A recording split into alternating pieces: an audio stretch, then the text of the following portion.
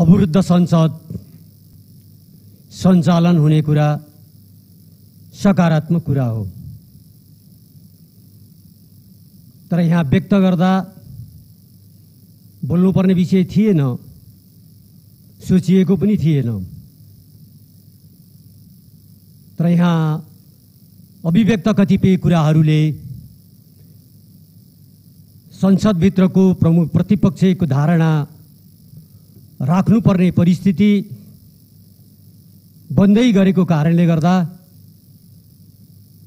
सभामुखजीको ध्यान आकर्षण गर्नुपर्ने परिस्थिति निर्माण भयो।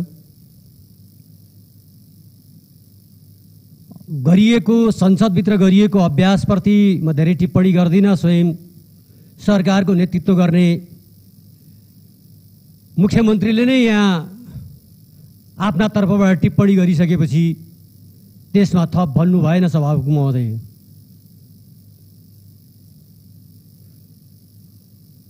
हो संसद अवरुद्ध भएको थियो। यही विषयलाई लिएर सभामुखले आयोजना गरेको बैठकमा नेकपा एमाले पनि सहभागी थियो। अघि बोल्दा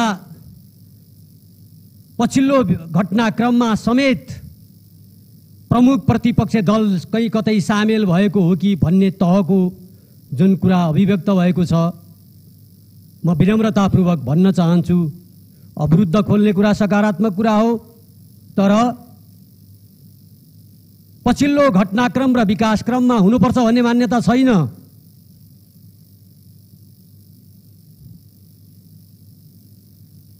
त्यो गठबन्धनभित्र रहनुभएका दलहरूका साथीहरूकै कुरा थियो नै त्यति बेला पनि।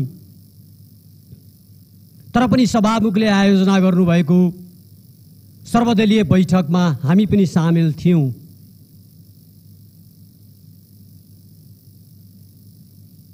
पहिलो दिनको अवस्था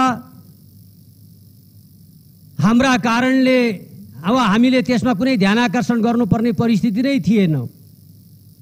जुन दिन पहिला कार्यक्रम वा घटना घट्यो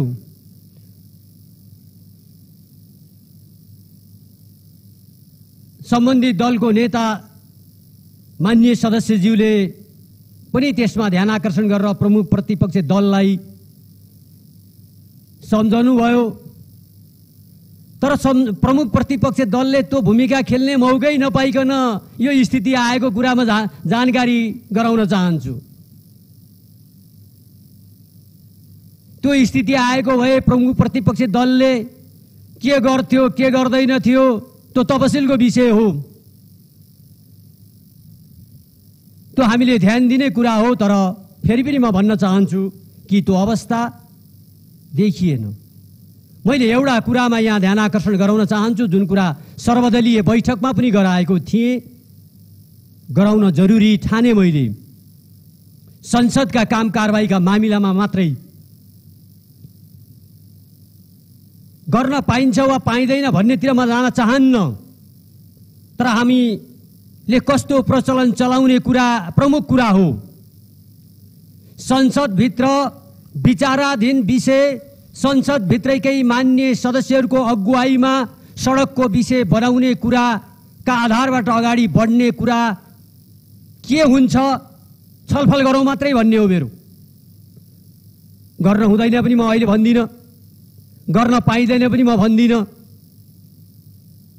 संसदभित्र विचाराधीन रहेका विषयहरू संसदकै सदस्यहरूको अगुवाईबाट सडकको विषय बनाउने कुरा गर्दा त्यसले संसदको काम कारवाहीलाई समितिको काम कारवाहीलाई प्रभाव पार्छ वा पार्दैन त्यसलाई त्यो ढङ्गले लिन सकिन्छ वा सकिँदैन मैले सर्वदलीय बैठकमा पनि राखेको हो र आज सभामुख मार्फत यो सभा समक्ष पनि यो कुरा राख्न चाहन्छु।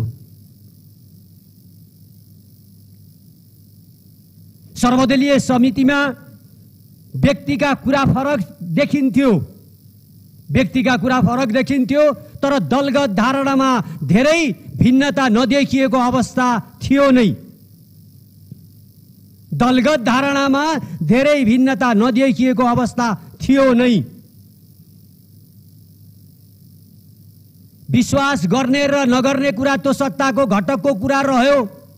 त्यसमा मैले धेरै बोलिरहनु पर्ने चासो दिइरहनु पर्ने कुरा त रहेन।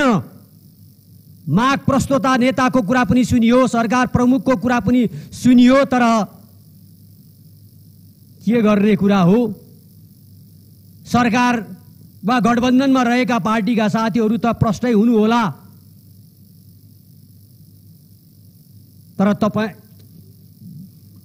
आजका कतिपय प्रस्तुतिका कारणले कतिपय संसदका विषय वस्तुहरू पनि प्रत्यक्ष अप्रत्यक्ष जोडेर लिएर आउनुभएको एउटा अवस्था देखियो त्यसले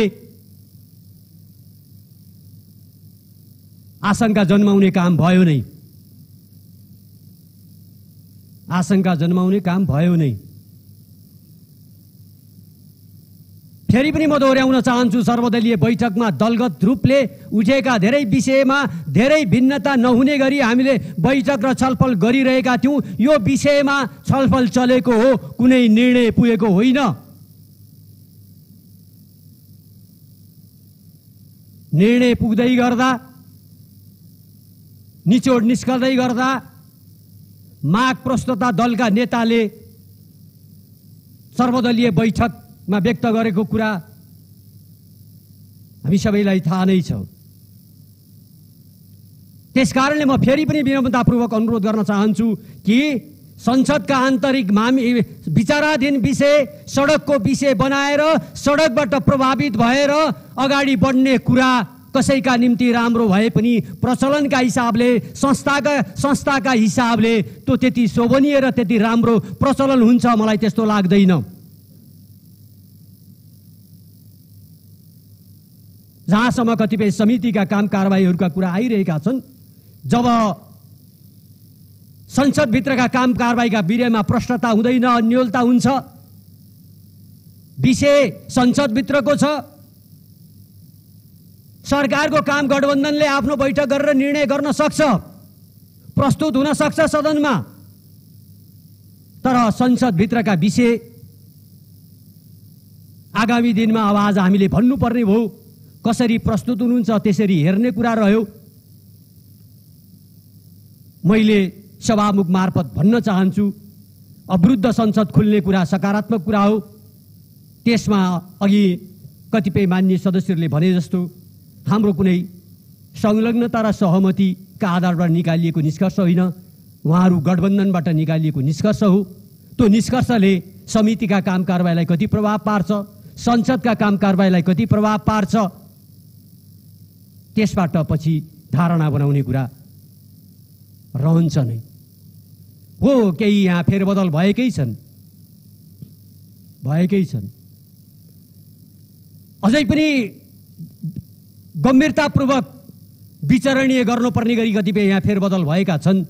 त्यसलाई म यही रोस्टमबाट विषय त बनाउन चाहन्न किनकि यो पहिलोचोटि देखियो। म आफ्नो दलको तर्फबाट संसद सचिवालयलाई रोस्टमबाट होइन भेटेरै ध्यान आकर्षण गराउने कुरा गर्नु नै उपयुक्त ठानेको छु। फेरबदल गर्नु नै पर्ने हुन्छ तर फेरबदल गर्दा व्यवस्था गर्दा हेक्का पुर्याउने कुरामा कमी रहेकै छ। कमी रहेकै छ। यतिको धेरै भन्न सकिन्छ यो संसद सचिवालयकै कुरा हो। उसकै नै अधिकारको कुरा हो। तर त्यो संसद सचिवालयमा गरिने हामीले त्यो अभ्यास र माग पनि गरेका छैनौँ। त्यो अभ्यासमा पनि छैनौँ। नियमावलीको त्यो व्यवस्था सक्रिय पनि छैन। खोज्न पनि चाहन्नौँ। तर संसद भित्रको सम्झनै पर्ने। एउटा जिम्मेवारीमा रहेको पार्टी हो नेकपा एमाले। सम्झनै पर्ने संसदभित्र। तर गर्नुभयो साथीहरू खुसी हुनुभएको छ माग पुरा भएको छ। त्यसका निम्ति म धन्यवादै दिउँला।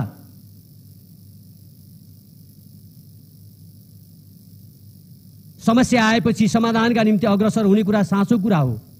त्यस कारणले म फेरि पनि अनुरोध गर्न चाहन्छु कि संसद र समितिका काम कारवाहीका बारेमा जे सार्वजनिक विषय बनाएर त्यसका आधारबाट समर्थन वा त्यसअनुसार कारवाही गरि निर्णय गरिएको तहबाट बुझ्ने र बुझाउने कुरा गरियो भने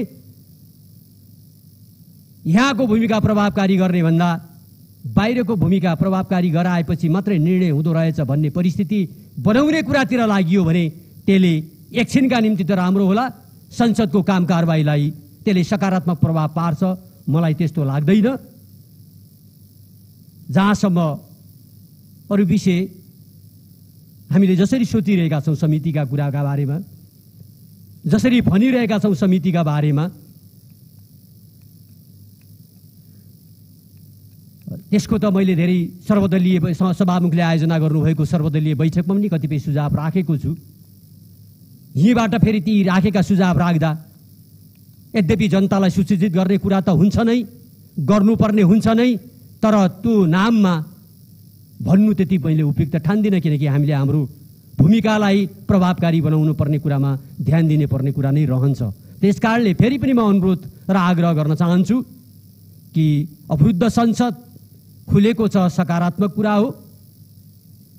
खुल्दा जोडिएका विषयहरू र पटाक्षहरू जसरी सार्वजनिक हुँदै जानेछन् त्यसअनुसार नेकपा एमाले आफ्नो धारणा त्यही अनुसार तय गर्ने कुरा पनि यो सभामुख मार्फत सम्मानित संसदमा राख्नै पर्ने परिस्थिति निर्माण भएको हुनाले मैले यति कुरा राखेँ। समय दिनुभयो।